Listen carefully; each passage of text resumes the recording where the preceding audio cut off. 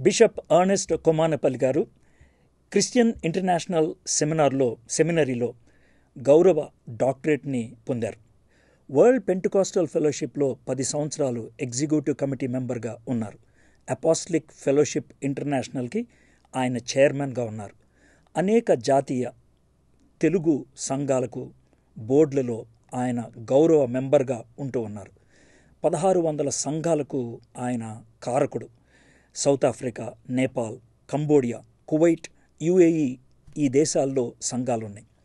ఇంత గొప్ప వ్యక్తి నాకు తెలుసు అని చెప్పుకోవటం గొప్ప విషయం.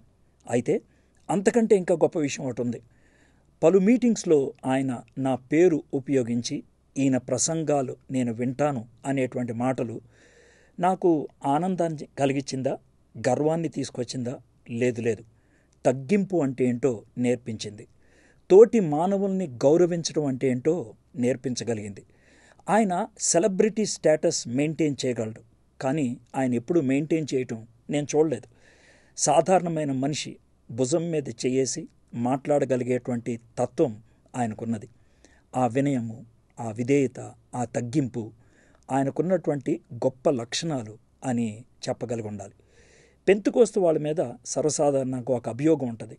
ఎక్కువగా అనుభవాల గురించి మాట్లాడతారు అరుస్తూ మాట్లాడతారు అనేటువంటిది. కానీ బిషప్ గారు ఆయన అనుభవంతో పాటు వాక్యాన్ని జోడించి చాలా బ్యాలెన్స్డ్ టీచింగ్ ఇవ్వటం అనేది ఆయనకున్నటువంటి లక్షణం. దేవుడు నాకు ఇంకొక గొప్ప ఆధిక్యతను ఇచ్చాడు ఆశీర్వాదాన్ని ఇచ్చాడు. ఇరవై నాలుగో తారీఖున ఆయన చనిపోతే దానికి వారం రోజుల ముందు నేను ఆయనకు ఒక చిన్న మెసేజ్ పెట్టాను. సార్ ఈరోజు నా పుట్టినరోజు నాకు ప్రార్థన చేస్తారని. అంత పెద్ద ఆయన నాకు కాల్ చేసి బ్రదర్ మీకు ప్రార్థన చేయటం నాకు గొప్ప భాగ్యం అని చెప్పి కొన్ని విషయాలు మాట్లాడి ఆ తర్వాత ప్రార్థన చేశాడు. నాకు ఐశ్వర్యం ఉండాలని ప్రార్థన చేయలేదు. ఆరోగ్యం ఉండాలని ప్రార్థన చేయలేదు.